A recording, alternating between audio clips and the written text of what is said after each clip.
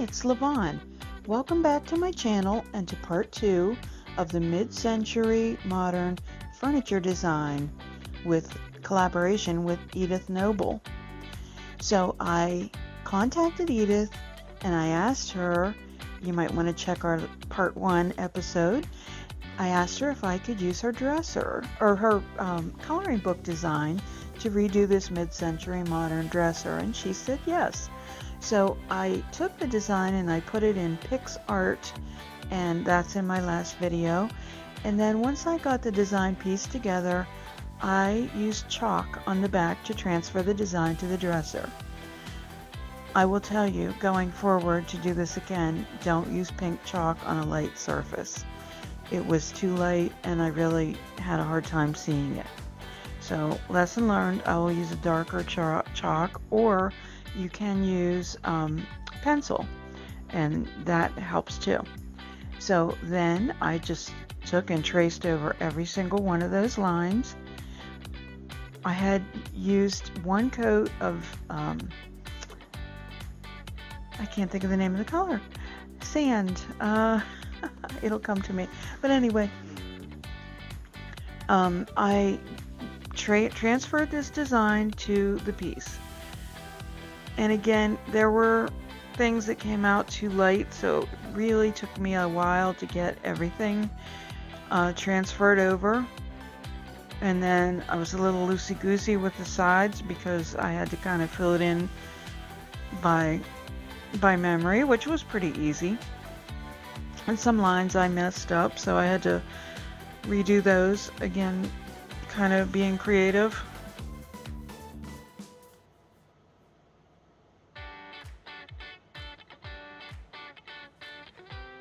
Sandbar. That's the name of that color. Yay! so I, you're going to have to stay till the end to see Edith's reaction because that's going to be at the end of the video. Now I will tell you I only got one dresser done. And you can see why. I worked on it really throughout the week, but it's a lot of detail. So um, you can leave in the comments what your suggestions are for the second piece. It's a more uh, flat and long dresser, same style. I'm thinking of just taking the tree tops and doing that. Or once you see the finished product, you might say that's too much. You might just pick out one color and do the drawers uh, to have it coordinate.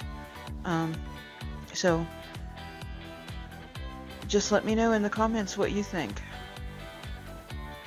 And of course I end up doing what I think's best in the end, but so then uh, the color starts coming in and I used a color palette and also an inspiration picture to choose my colors and I tried to stay in this mid-century modern color palette. This is uh, Barn Red from Dixie Belle and um, next I used some Florida Orange but I was using artist brushes on all these areas. So you can see it was very um, time consuming. So then I came back in again with the oil-based marker. That was what I was using on the sandbar uh, for the black lines is oil-based Sharpie marker.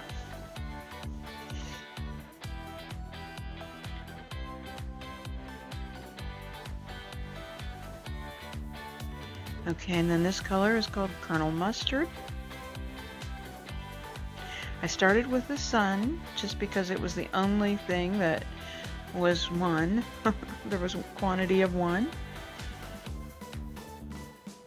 And I just thought that would give me my jumping off point.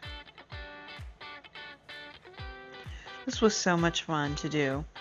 So then I came in with Mermaid Tail and did the sky and I just decided I was going to do the entire sky in the same color. I could have done a little more shading, but I kind of really thought that this color was a real mid-century modern color, and I just thought having a good bit of it would be kind of grounding.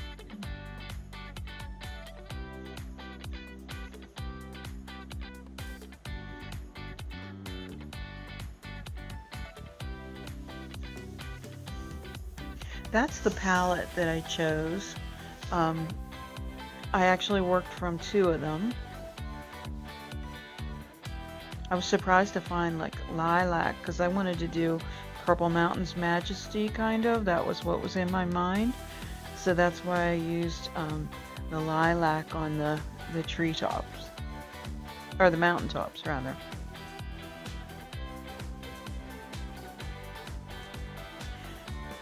So again, this wasn't exactly what was in my mind color-wise, but I worked from these color palettes because I wanted to make sure it was authentic mid-century modern colors because of the style of the dressers.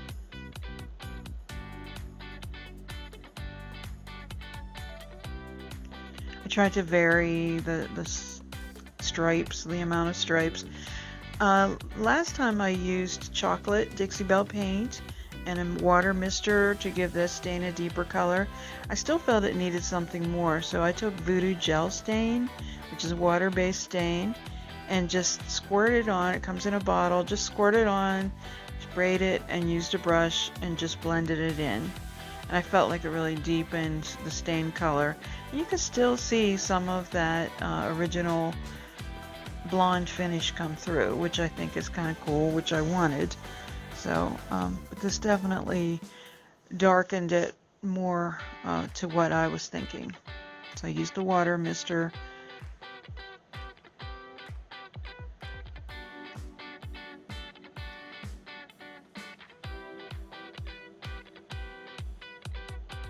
And you can see how that just really kind of gives it the look of the wood grain. So happy I did this extra step.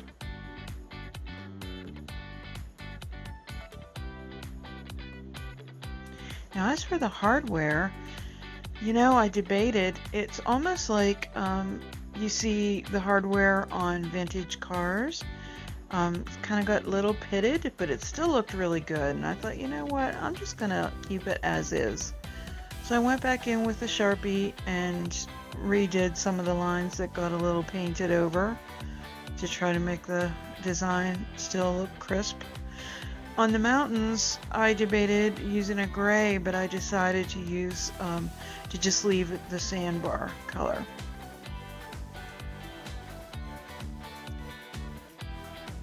And I'm glad I made that choice. Once we get to the end, you'll see um, the last decision that I made, which is this one, using the brown wax and my new Hujo stencil brush, which I use for waxing. Um, from Redesign with Prima, but you can see what a difference that makes. Maybe you can't see it so much in the video, but close up you really can. Not only does it improve the texture and make it look so nice and smooth, but it just gives it a little bit of a vintage look. Um, I did the same over the stain as well, um, but it just, you can see as I progress here when I get down to some of the other drawers and the, on the mountains especially, you can see the difference that it makes. Naturally, things that have been around since then have darkened a little bit. Um, it's natural when the light hits it that that happens. So I think this kind of gives it that look.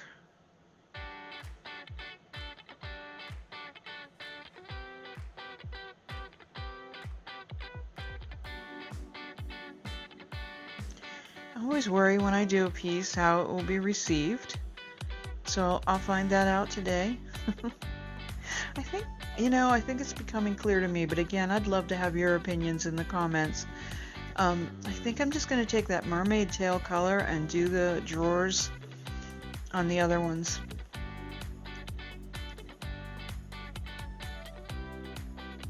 So I just can't, so you can see the difference between the light and the dark with the wax.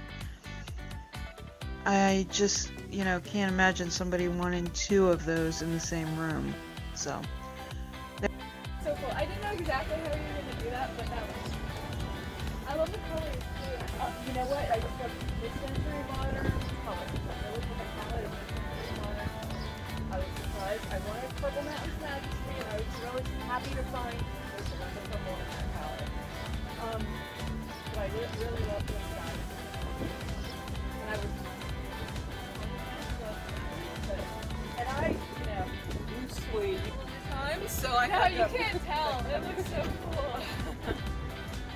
glad you like it. Yeah, no, that is amazing. To It see does your art on furniture. yeah. What'd Yeah. you say? So that's a wrap, and I couldn't have asked for a better reaction. I now have Edith's um, coloring books for sale in the store, and we staged it, had some good photos taken of it, and I'm very pleased with the way this turned out, even though it was different from my original vision. I hope you'll subscribe, come back to the channel. We do something different all the time. And uh, visit us, please, at lavintagedecor.company on Facebook. We're La Vintage Decor Altoona on Instagram, La Vintage Decor. Have a great day and stay well.